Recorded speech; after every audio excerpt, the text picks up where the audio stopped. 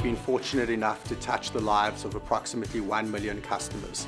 These are people that are often living in rural areas in remote parts of Africa. They've been underserved, often forgotten about by the financial system. We've been able to extend loans to this segment. They are now people that are able to enjoy giving their children a better education. They are able to use those loans for the growth of secondary businesses which enriches their life.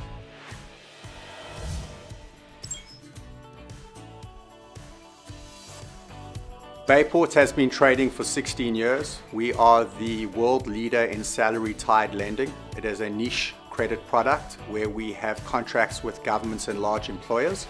We lend to their employees and we collect their installments in the same way that tax would be deducted from their payslip. The typical use of our loan is for housing, secondary business and education.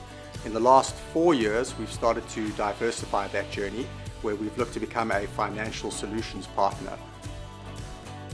We are trying to assist customers in four main areas. Firstly, the provision of credit.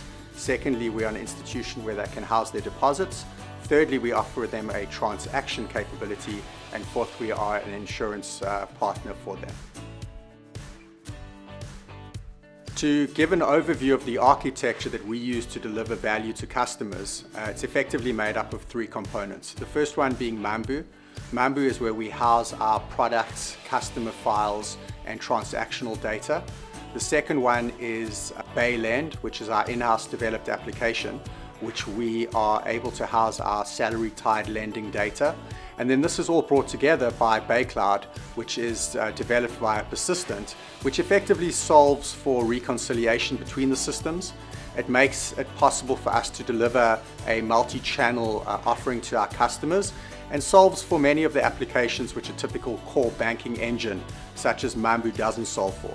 So using Baycloud, we're able to do things like ACH processing, we're able to run our CRM activities, acquisition and retention through that platform. We're able to do automatic linking of cards to customer files, which we're able to do because of the rich API environment which Mambu offers us. As we wanted to launch our financial solutions offering, with us wanting to get to market quickly, it was important that we could follow an agile methodology.